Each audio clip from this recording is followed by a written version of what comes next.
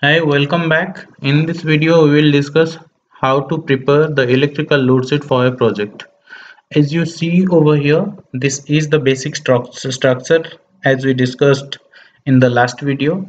By the way, if you have not been through the last video, I'm putting the link over here on the cart button so that you can go through and uh, uh, learn some things on overview, how MEP works, how the designing process you can learn from there so before starting this video we must know what is the electrical load sheet why it is calculated and what is the need of it. Basically electrical load is the power consumption by an equipment. It's called electrical load and the unit of it is like uh, watt kilowatt megawatt etc and the electrical load is calculated total electrical load is calculated to know what is the total demand load what is the total power required for a project. So let's start the project. Basically it's a ready sheet. Yeah this is a ready sheet uh, with all formulations ready you don't do you don't have to do anything. You only have to put the data over here and you will get the required the uh, desired output over here. Basically there are two uh, three types of load. As you see over here there is a drop down. One is small power one is lighting one is HVAC one is pump or motor. Once you select your small power you see automatically that format goes to uh, 0.7 as a diversity factor. If you select over lighting over here it goes to 0.8 as diversity factor. If you select the HVAC over here it goes to 0.9 as diversity factor. If you get uh, select is to pump or motor it gets to 1 as a diversity factor. So here again there is a drop down. Before uh, suppose there is a meeting room uh, let's go through in detail. Suppose the area name is meeting room and the equipment in use is suppose there is a concealed ceiling light. And as we know the lighting is lighting falls under the lighting load. That is not on a small power not HVAC it's on uh, lighting load. So let's select your lighting and the diversity factor automatically goes to 0.8 and suppose one light consumes 10 watts and the quantity of lights are 10 so the total connected load is 100 and the upon diversity factor demand load goes to 80 suppose in meeting room another power consumption is there.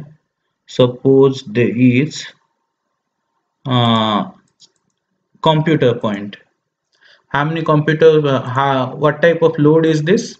It is small power. You have to go through the drop down and select the small power and uh, suppose it consumes commonly mostly uh, computers consumes 150 watts so consider 150 over here. And suppose they are provision of uh, four computers. So that uh, total connected load goes to 600 watt. As we selected small power load type over here uh, the diversity factor automatically goes to 0.7 as you see over here and the demand load is 600 upon 0.7 equal to 420 likewise as you need uh, do fill up the data over here you have to uh, just select the equipment name what type of equipment. You go through the drop down and select over here.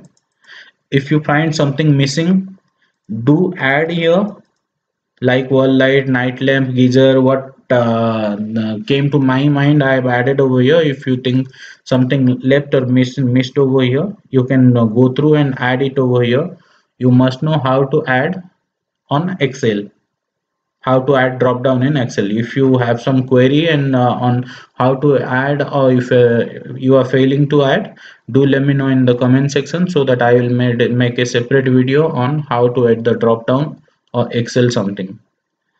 So let's uh, go to next. Then you have to select the load type. What type of uh, load is that? If you select here it's uh, uh, suppose geyser right? Suppose uh, type here is toilet right? Uh, equipment name is geyser. And the load type is as we know it's small power. Suppose that consumes 500 watt and uh, quantity is 1 so that total connected load for geyser is 500 watt. And as we selected small power here the diversity factor automatically goes to 0.7 and the total demand load in watt goes to 350 watt. As you fill up all your required data over here automatically at the end the total demand load changes and finally you get it in kilowatt. It's 850 upon 1000 that is 0.85 here in this way you can get uh, the total required load. And the next is from the total required load we calculate what is the line current what current uh, line current is there so that we can select the cable or wire size what needed for that. Uh, for the cable or wire size calculation we will go in a separate video.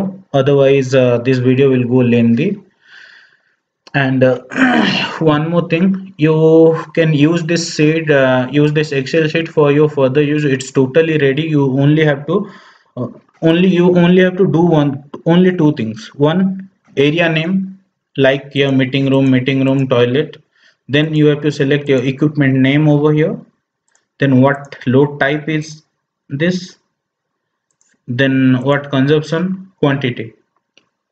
Here you get all the details. Total load in watt and total load in kilowatt. So i think you must have some clarity on this topic. How to calculate electrical load if you have some query or any suggestion do let me know in the comment section below so that I'll go through and I can revert to you on that. So for that for that signing off right now bye bye see you next